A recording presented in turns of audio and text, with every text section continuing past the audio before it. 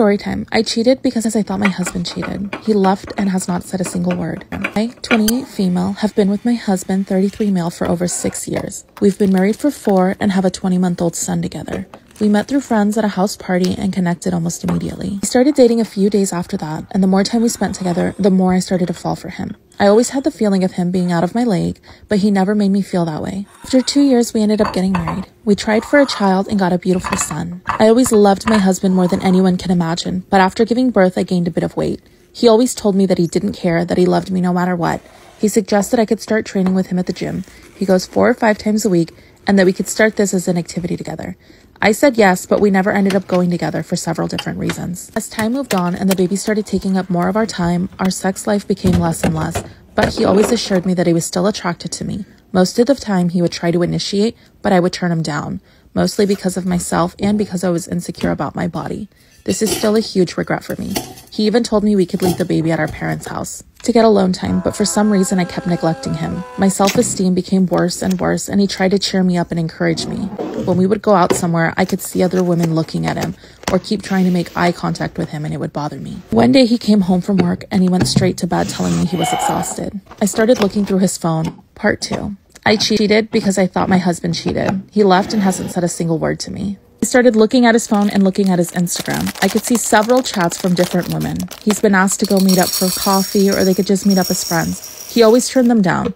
I even saw an archived message from an ex who had messaged him out of the blue and asked if he wanted to meet up for a good time. I really don't know why, but my head started making up that he must be cheating on me with at least one of these girls. I ended up contacting an ex who I hadn't talked to in years. One thing led to another, and we met at a hotel close by. At first, I just wanted some sort of payback, but we ended up having sex and I was filled with incredible regret. All of this happened during the day, and my husband was at work and had no idea and never had a suspicion. It took me three days, and he came home one day. We were in front of a television. I started crying and told him everything. He just kept looking at me, didn't say a single word, went upstairs, locked the door to our bedroom. I followed him and I was crying at the door, but he didn't say a single word to me. When he finally came out, he immediately left the house. I haven't heard a single word from him. I have tried to call him at least a hundred times, but he still hasn't responded and I have no idea where he is. All of this happened yesterday and I haven't heard a word from him. I'm scared of contacting his or my family because I don't want them to find out. I'm filled with regret and disgust, and I don't even know why I didn't trust him. I know most of it roots down to my own insecurities, but I just want my husband back. He left me alone with our baby. What can I do to save my marriage? I remember when I was little, my grandpa had this pet crow that he found in the wild and brought home one day, and it just never really left. So we wouldn't really go over to my grandpa's house a lot because he was a little, well, he was a little cuckoo, he was a little crazy, okay? But when we would go over there, he would always have something new that the crow could do, a new trick or whatever. And let me tell you, my grandfather is country, is all hell, okay? So he just would have farms and he would have animals and he just knew a lot about like the wilderness and how to survive or whatever. So I don't know how he taught this bird how to like do these little tricks. He would teach him to like do little flips and come back and forth for food and stuff like that. So when we came over this one particular time, he was like, "Hey kid, you want to you want to see me crow do something?" And mind you, he never named the crow. Me and my brother nicknamed the crow Watermelon because the crow would come over to his house specifically to eat watermelon and be on his way. So we would nickname the bird Watermelon. So he was like, "You want to see him do something?" And me and my brother were like, "Yeah, yeah, yeah." You know, so my grandpa literally wrote a message on a receipt or whatever and it was to his neighbor. He wrote a receipt and he was like, hey, I have the grandkids over, send a message back. So he gave the message to the bird. The bird flew over. And mind you, my grandpa lived in like the middle of nowhere. His neighbors were so far from him. So he taught the crow how to send messages back and forth from him to his neighbors. So that later on that day, the crow eventually came back with the message and was like, hey kids, it's neighbor da da da, whatever the neighbor's name was. And me and my brother were like, what? Oh my God, now we gotta send a message. How far can the bird go? How far can the bird go? I wanna see how far. I want to send a message. So me and my, my brother are asking my grandpa, we're like, like, how far can we send the message? Like, can he come back? Like, we don't know. So my grandpa just entertaining us is like, well, you can send a message all the way to China and he'll come right back because he knows his way home. And so we're like, ah! So I had my dad sit down with us and write a message, and I can't remember verbatim what we wrote, but it was along the lines of like, "Hey, my name is Monet, and this is my grandpa's crow. Send a message back. He knows his way home, right?" So we had the crow take the letter and just fly away, flow away into the night. And I was assuming like, oh, it's gonna take maybe a whole day for it to fly to China and back. Stupid little kid, right? So eventually the bird did come back and it had another message on there, but the writing was different from the uh, the first letter. The message really looked like it was written by a kid, and the message read, it was like, "Hi, my name is Kaya. Um, how are you? I know your grandpa." And I was like, "Oh my god, like who is this? Like who in China knows my grandpa?" I don't know. So I, I made my dad sit down with me and write another letter back. And I was like, like, who's Kaya? So then I have my dad write a letter back to Kaya. And I'm like, wait, like, are you from China? How is it? Um, like, why are you out here? Like, I, shoot, if I was in China, I wouldn't be in the middle of the desert, in the middle of nowhere, right? So then I have my dad write this letter and I have it send it back to the crow. Now, I don't know why my little kid brain, it didn't register to me. Like, this crow is coming back and forth pretty quick. But I, yeah, I didn't really pay that any mind. So the crow eventually did come back a little later on that day. And it had another note from Kaya. And Kaya was like, yes, I'm from China. She was like, I'm visiting with my, my grandpa. And da da da da. And she was like, it's really cool out there, da, da, da, da blah, blah, blah. She was like, we should play together. And I'm thinking, I'm like, how am I about to play with Kaya if she's in China? I, China's very far from my knowledge, right? So I had my dad write a letter back, and I was like, that would be so much fun. I would love to play with you, but if you're in China, like, I'm in America, we can't play. So you know the drill. I had my dad put that, give it to the bird, and the bird flew back and came back with another note from Kai. And Kai was like, "What do you mean?" She was like, "I'm visiting my grandpa in California where we were," and I was like, "What?" So then I go to my grandpa and I was like, "What do you know?" I was like, "How do you know Kaya? She's from China, and how do you know her?" Da, She said she's down the street. My grandpa started dying laughing. He thought that was the funniest thing. He, so my grandpa's like, there's an old Chinese couple that lives on the other side of me that has a granddaughter that comes out and visits sometime around this year.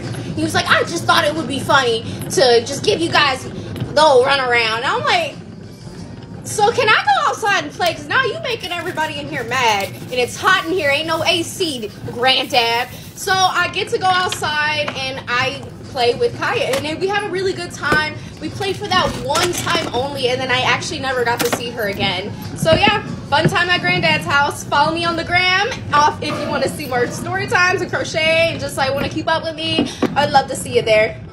Peace.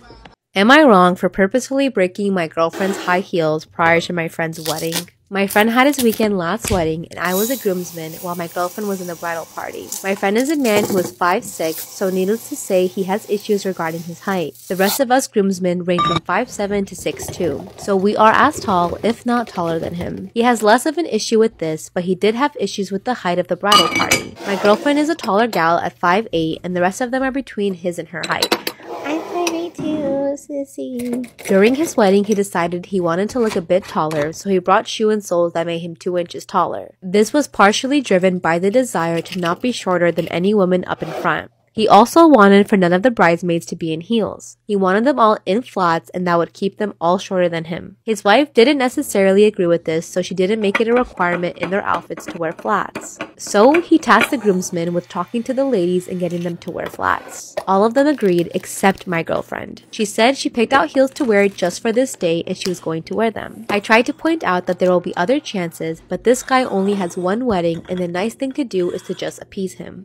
She said that she listens to the bride and the bride says she can wear heels so she will. I tried my best to convince her to just wear some flats but she wouldn't listen. Eventually it got too close to the day and while my girlfriend was practicing and one of the heels mysteriously broke, it was too close to the day to get an exact replacement so she was stuck in flats. So, you may have guessed it, it was me. And I know it was fucked up, but I'll pay to replace it for her. She didn't find out until I told her after the wedding, and she of course was not happy. She said I was policing her outfit for my insecure friend and that she wanted to look good that day. I don't think I did anything wrong as I stopped her from ruining his wedding for him. So, am I the asshole? What a baby! How fragile is his ego? I had to treat my own daughter after a car accident last night because of a drunk driver.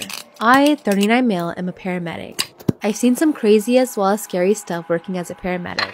Last night was for sure the worst. It was 10 p.m. getting close to the end of my shift. We got a 911 call about a car accident. When we got the call, I had a bad feeling and I didn't know why. Then when we got to the scene, I found out it was my daughter's 16 car that got hit. She was in critical condition and we had to take her ASAP. All of her vitals were low, and then her heart stopped. We had to revive her. She made it to the hospital. She had eight broken ribs, which caused a collapsed lung and broken blood vessels, causing her heart to go into sudden cardiac arrest. She also suffered a spinal injury, and doctors aren't sure if she'll be able to walk again. They put her in a medically induced coma to give her body rest. The man who hit her was driving drunk. The only injuries he suffered were a broken wrist and some bruises. It is so unfair that my sweet 16 year old daughter, who is just on her way home from work, has to suffer when the drunk driver suffers from only minor injuries. I see it all the time and it's so unfair. I just needed to get this rant off my chest. Accidentally broke my husband's penis and now he wants to divorce me. Time it's not my story time, it's on my Instagram. My husband and I have been married for five years. He's in the army, so he travels a lot for work. Most of the time, I'm home alone. And because of this, every time he comes home, I want to be with him you know, like do the dirty. But this man tries to avoid it. Now, when we first got married, we lived together for about a year. Everything was, I guess, normal. Sunday I've always been the one trying to initiate, Aldi. but he never really does. So back then, it wasn't like a weird thing. But now that he travels so much for work, I would assume that he would want to have sex with me, and therefore he would initiate. Every time he comes home from traveling, all he does is lock himself in his office and try to play video games. He says that he needs to escape and that he really doesn't want to face his responsibilities when he comes home. So I'm left to do everything for him when he gets home. Like, I even have to set out his clothes on the bed, I have to make and serve all his meals, and I still have a 9 to 5 job. So I'm pretty much working year round. And I've even started paying for the bills because he asked me to. So the least he could do is treat me right and give me some sex. When I brought it up to him, he got mad. Part 2 is that I broke my husband's penis and now he wants to divorce me. Disclaimer is not my story time, it's on my Instagram. So after I brought it up that he never wants to have sex with me, he got furious. He told me that I was always breathing down his neck, that the happiest time in his life is when he's at work in the army. Now my husband's never been the super affectionate type, but he's never been like that. So I asked him again why he's being so distant and cold. He told me that I was being too clingy, and that after years of marriage, I should have been over him. Over him? So I asked him if he was over me. He looks me straight in the eyes and says, Well, it's kind of hard to be attracted to you when you're not in good shape. My husband's in the army, so as you can imagine, he is in very good shape. He's got an eight pack and is pure muscle. But I didn't know it was a requirement to be in really good shape to be married to him. When he saw the look on my face, he quickly apologized and said that he was just upset. I asked him what was going on at work and he told me that he was just having a hard time. Then I asked him if he was interested in someone at work. Course, he said no, though. Told me that I was being too sensitive, so I asked him, fine, have sex with me right now. Part 3 is up. Accidentally broke my husband's penis, and now he wants to divorce me. Disclaimer is not my story time, it's me on Instagram. So I demanded the sex. I mean, I needed proof that he at least still loved me. So he takes off his pants, and we start going at it. But he wasn't getting, you know. And I tried. But the more I tried, the more he complained. Then he said it was hurting. So I just went ahead and tried to sit on it. And that's when we both heard a snap. He screamed in pain and immediately said, You broke it. So we put on our clothes and headed to the ER. The doctor said that he had never seen anything like that before and that I really needed to be careful next time. So on top of my husband not giving it to me and me being totally sex deprived, the doctor's telling me that I need to be careful. My husband basically gave me the cold shoulder for two weeks. Then he told me that he was no longer attracted to me and that he wanted a divorce. Come to find out, he's gay. Not only is he gay, but he has a boyfriend. And he's been with this guy for over a year. While I'm working my ass off paying for the bills, doing everything for him. So so he asked me to get a divorce, but how are we to split all our money? So I said no. I refused to let him be happy with this man while he wasted my